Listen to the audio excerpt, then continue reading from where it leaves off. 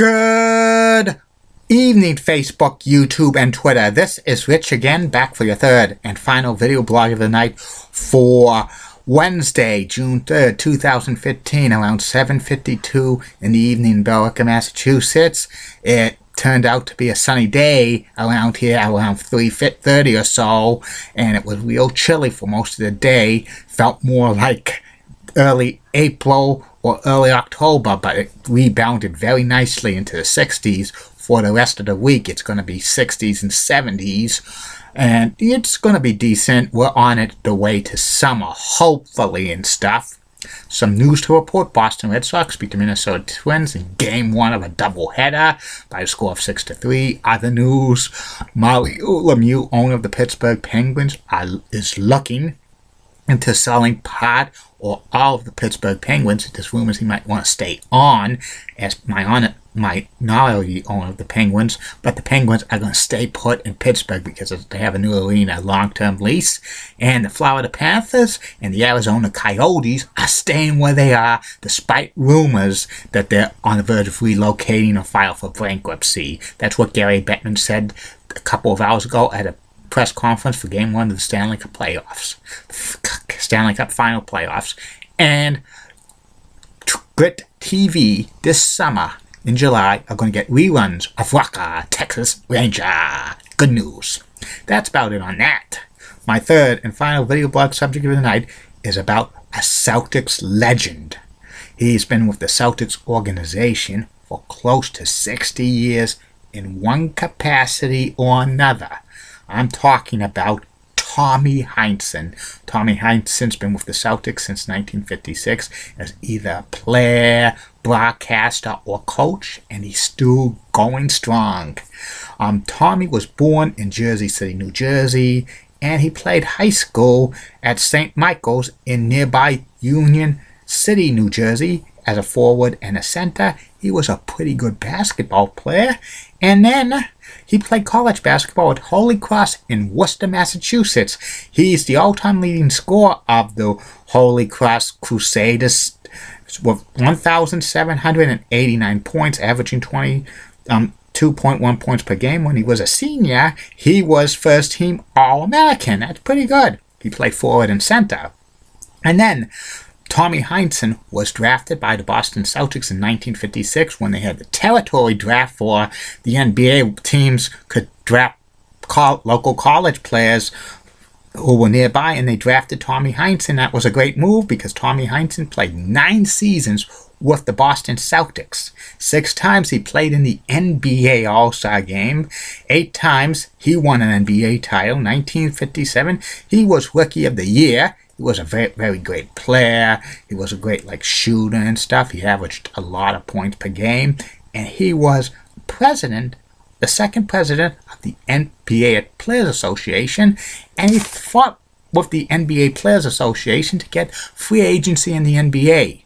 And in 1964, they almost boycotted the All Star game in Boston, Massachusetts. They came down to the final hours, and the game was going to be played at the Boston Garden in 1964, televised on ABC, and Tommy Heinsohn really got the players together saying we're going to strike or not play if you don't give us free agency and stuff. NBA gave in because they wanted primetime exposure for ABC because if they lost that primetime exposure, the NBA could be in, could have been in serious trouble.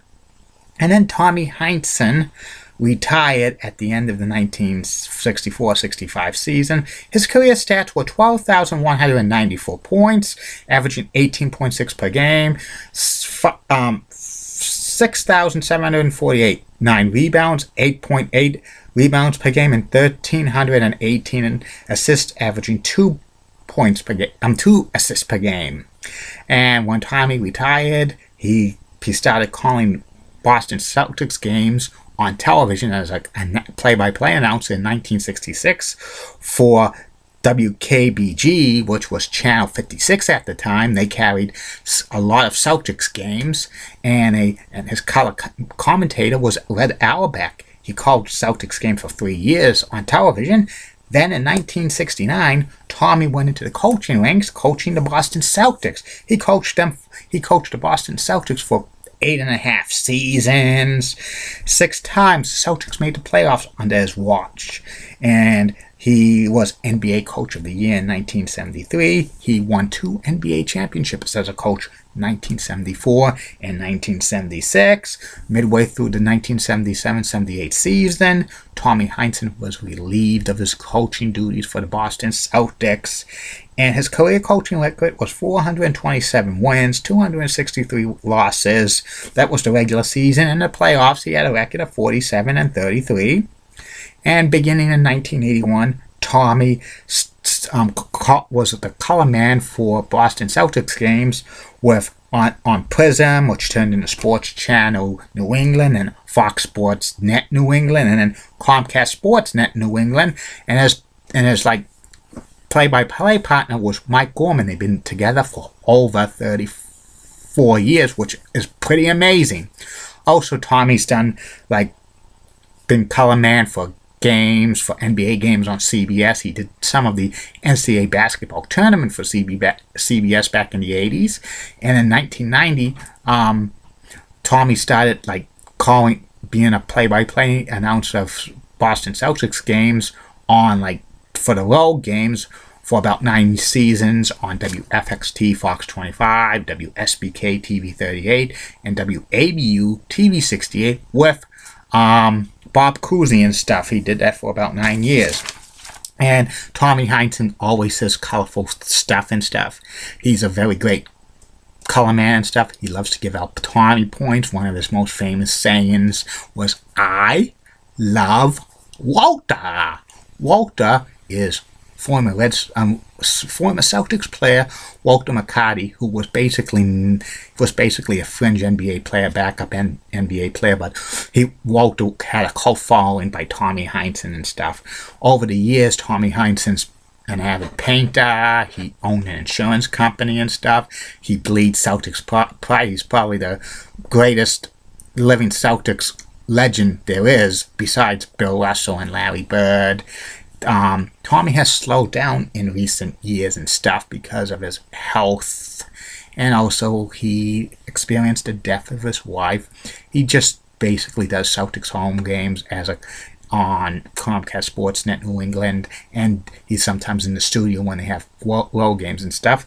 The Celtics retired number 15 for him years ago. In 1986, he was voted for the Pro Basketball Hall of Fame as a player.